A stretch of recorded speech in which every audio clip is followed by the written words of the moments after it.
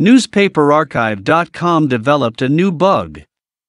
The bottom of the page's refuses to focus on the bottom of the page in Chrome and Edge.